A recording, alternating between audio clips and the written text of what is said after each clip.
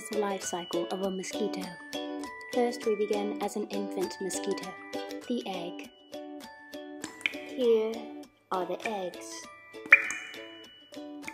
And here is a singular egg. Next, the eggs hatch.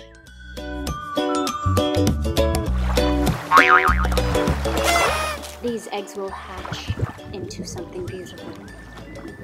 Now we have larva. Here is the larva. In the water, they will live and develop.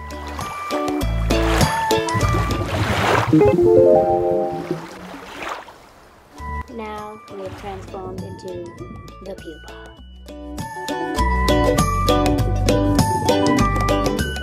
Soon, this pupa transform into something. The adult.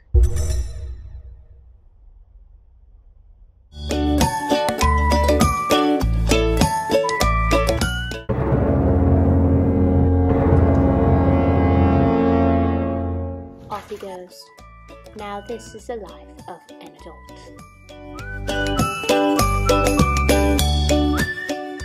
An adult female goes on the hunt for food. As soon as she sees it, she gets excited.